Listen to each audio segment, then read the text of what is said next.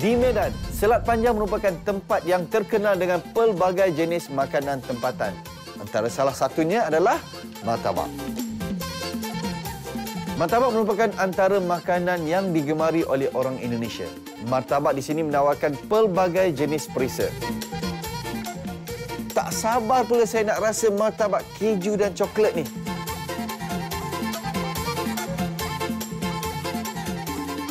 Wah, panasnya martabak ni.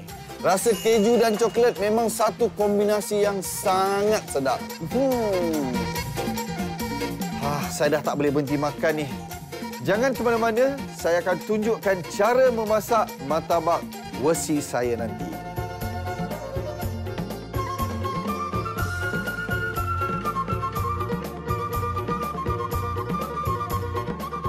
Siapa kata nak masak martabak ni susah? Saya ada cara yang senang untuk masak martabak. Campurkan krema sejat FNN ke dalam bahan-bahan adunan dan kacau sehingga sebati.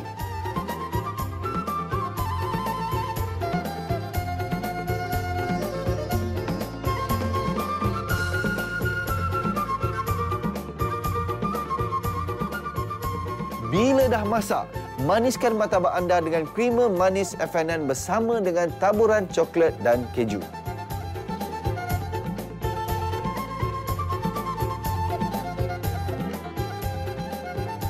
Ha, mudah kan nak buat martabak ni?